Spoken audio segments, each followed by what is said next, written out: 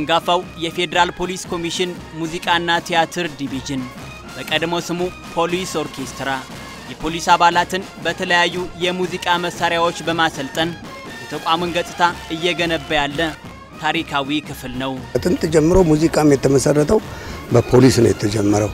ስለዚህ ፖሊስ ከጥንት ጀምሮ እኛንም ሁሉ እዚህ ደረጃ ላይ እያደረሰ ትልቅ የሙዚቃ ክፍል ነው።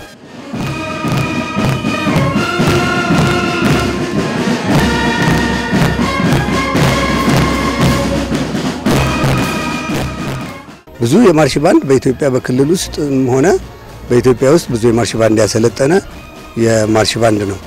በተቻለ አቅም ይሄ ትምህርት ቤት ባይኖር ኖሮ በየክልሎችም ያሉ ማርሽ ባንዶችም አይኖሩም ነበር። ይሄ ነው ያፈራቸው። አሁንም እዚህ ጋር በጣም ሊበረታታ በጣም ትኩረት ሊደረግበት ይገባል፣ ትምህርት ክፍሉ ማለት ነው። የሙዚቃ ክፍሉ ከልዩ ልዩ ስልጠናዎች ዲቪዥን ጋር በመተባበር ለአገር መከላከያ ሰራዊት፣ ለአማራ፣ ለአፋር፣ ለሐረር፣ ለኦሮሚያ፣ ለጋምቤላና ለደቡብ ክልሎች የፖሊስ አባላት የማርች ባንድ ስልጠና ሰጥቷል። እየሰጠናቸው ካለናቸው ሁኔታዎች ስንሄድ የማርሽ ባንድ የሙዚቀኛ ማርሽ ባንድ ስልጠናዎችን ለክልሎች ድጋፍ እየሰጠን ያለ ነውና በአሁኑ ሰዓት የቤኒሻንጉል ጉሙዝን ሰልጣኞች የማርሽ ባንድ ሰልጣኞች ድጋፍ እየሰጠን ከመስከረም ጀምሮ ስልጠናውን እያከናወን የምንገኝበት ሂደት ነው ያለው። ሰልጣኞች የተቀበልንበት ምክንያት የክልል ፍላጎቶች አሉ። ማርች ባንድ የሰለጠናቸው የሙዚቃ ፍላጎት እንዲመጣላቸው ጥያቄዎች አሉ። ስለዚህ አንዳንዶቹ በረጅም ጊዜ የሚፈቱ ናቸው። ለምሳሌ የህንፃ ግንባታ ብናየው በረጅም ጊዜ የሚፈታ ነው። እሱ ካልተፈታ ስልጠና አንሰጥም ብለን ብናስብ ረጅም ጊዜ የሚሰለጥነውም ጠያቂውም እኛም ሳናሰለጥን ነው የምንቀረው። የሚቀረፈው የሚቀረፍበት ጊዜ ይቀረፍ።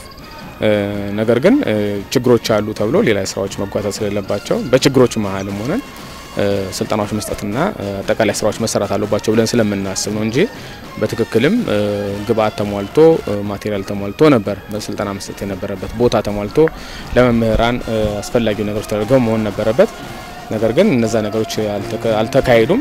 የፌዴራል ፖሊስ ኮሚሽን ሙዚቃና ቲያትር ዲቪዥን እንደ ታሪካዊነቱና ዝናው አስፈላጊው ድጋፍ ባይሟላለትም አሁንም ግን የቤኒሻንጉል ጉሙዝ ክልል የፖሊስ አባላትን በሙዚቃ መሳሪያዎች እያሰለጠነ ይገኛል። ግቢው ራሱን የቻለ ማሰልጠኛ የተሟላ ሁኔታዎች ያሉትም የመኝታዎች የመኝታ ቤቶች ሁኔታ ስናይ፣ የቢሮዎች ሁኔታ ስናይ የተለያዩ ግብዓቶችን የሚፈለገውን ያህል መምህራኖች፣ የሚፈለገውን ያህል አሰልጣኞች፣ የሚፈለገውን ያህል ወይም ደረጃውን የጠበቀ የቢሮ ሰራተኞች ወይም ሌሎች ግብዓቶች የተሟሉበት ሂደት አይደለም ያለው። ይሁንና እነዚህ ክፍተቶች እንዳሉ ቢሆኑ በተቻለ መጠን የሰራዊቱን ክፍተት ለመሙላት የተለያዩ የሙያ ስልጠናዎችን በመስጠት አሁንም ለተቋሙ የሚቻለውን እገዛ እያደረገ ያለበት ሂደት ነው ያለው።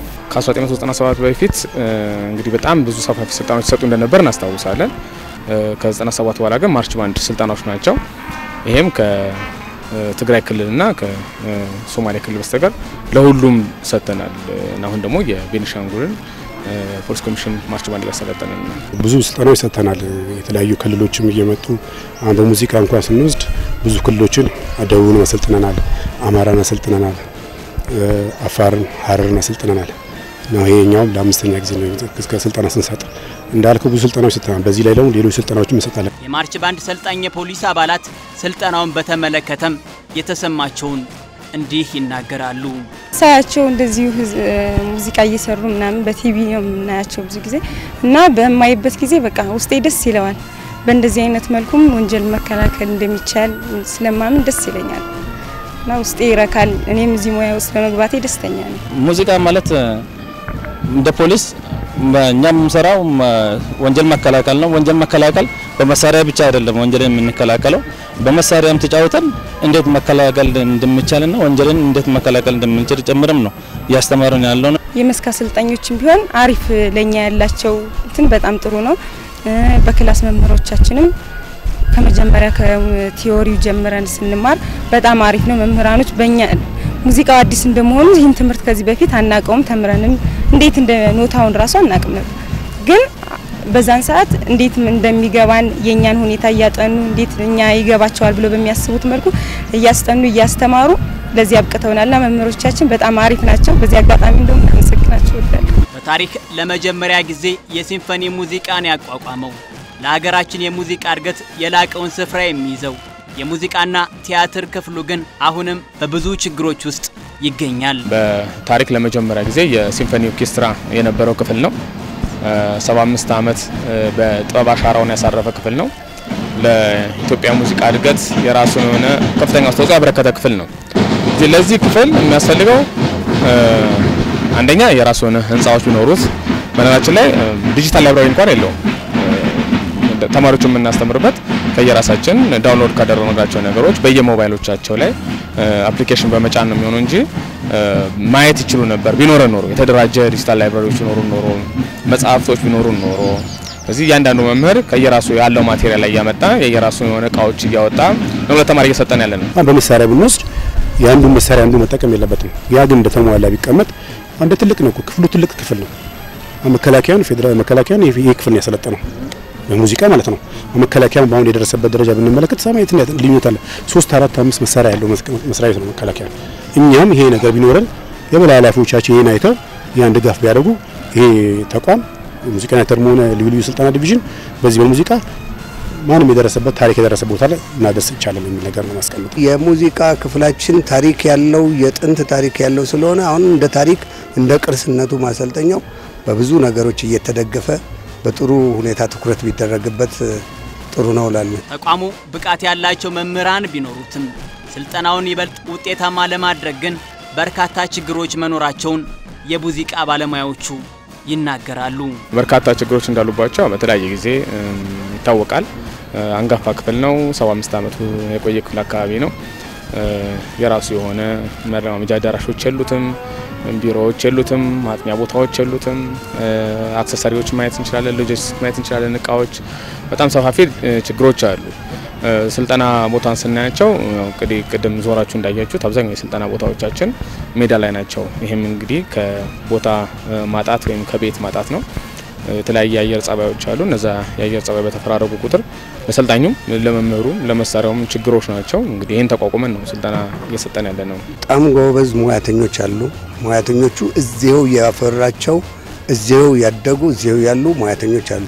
በውጭ ደረጃ ድረስ ተፈላጊ ሙያተኞች እዚህ ናቸው ያሉት። ስለዚህ ሙያተኞቹም በጣም የሚደነቁ ናቸው።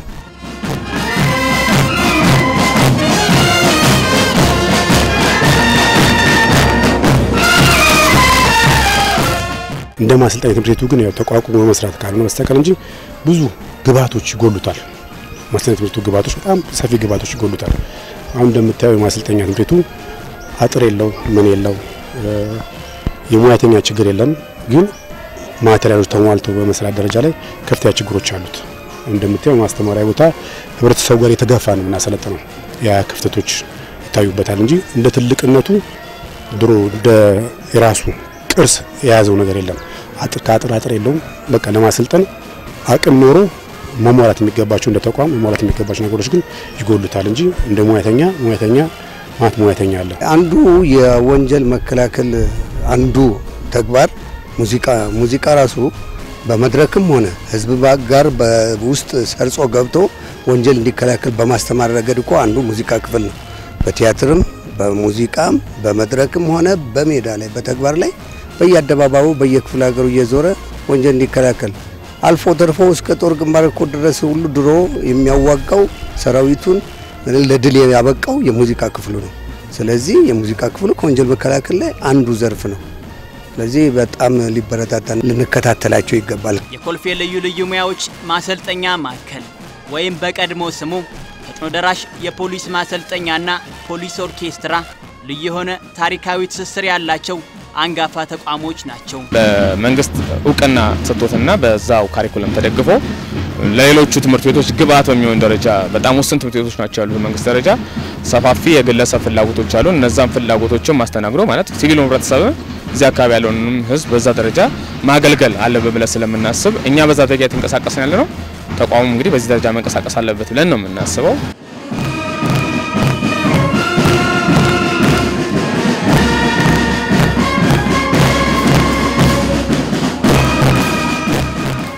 ይህ ታሪካዊ ግቢ ነው እንዳልከው ከማንዴላ ጀምሮ ታሪክ ያሉ ሰዎች እኔ ራሴ በዚህ በተቋሙ ግን 31ኛ ዓመቴ ነው ያዝኩት በዚህ በተቋም ስራ ማለት ነው። ተቋሙ ከ31 በፊት የማውቀውና አሁን ያለው ነገር ላይ ጥረቶች የምናደርገው ነገር አለ። እኛ የአቅማችን ጥረቶች የምናደርገው ነገር አለ። አሁንም ይህ ታሪካዊ ቤት መመለስ ይቻላል። የበላይ አካል የሚመለከታቸው ሰዎች መጥተው ችግሩን አይተውት መፍታት ይቻላል። በጣም simple ነገር ነው። በጀት መመደብ ነው። ማስተካከል የሚገባቸው ነገሮች ማስተካከል ነው። የሰው ጥረት የለም። ያን ነገር ታሪካዊ የነበሩ ሰዎች የነበሩ ሰዎችን አማክረን መመለስ የሚቻሉ ነገሮች ይመለሳሉ። ግን ከበላይ አካል የኔ ነው የሚለው እንዳልከው ከመንገድ ስራ ጀምሮ በጣም ከባድ ነገር እንላለን። የመንገድ ስራ ከባድ ነገር አለ። አይተ ይህን የሚያክል ከተማ ላይ የሚያክል ማሰልጠኛ ትምህርት የለም፣ ማንም የለውም። ትልቅ ግቢ ነው፣ ሰፊ ግቢ ነው ያለን። ወርታች ብትወርድ በጣም ሰፊ ግቢ ነው ያለን። ስለዚህ ያን ታሪካዊ ነገር ለመመለስ የበላይ አካልም መጥቶ የኔ ነው ብሎ ምን ካልተመለከተውና እኛም ከዚህ ያለንም ሰዎች ጥረቶች ካላደረግን ልጦች ልናመጣ ስለምችል ግን የበላይ አካል ትኩረት ቢያደርግበት ከበጀት ጀምሮ ከማቴሪያል ጀምሮ መስተካከል የሚገባቸው ነገሮች ቢስተካከሉ ጥሩ ነው። ሁለት ስምንት ላይ ይመስለኛል የፌዴራሉን እንትኑ ህንጻው ይገነባል ተብሎ ነበር። እንግዲህ በ2012 በጀት ዓመት እንግዲህ ይገነባል ብለን ተስፋ እያደረግን ያለ ነው። እሱ ከመጣ አብዛኛውን ችግሮቻችን በሙሉ ይቀርፍላል ብለን እናስባለን ማለት ነው።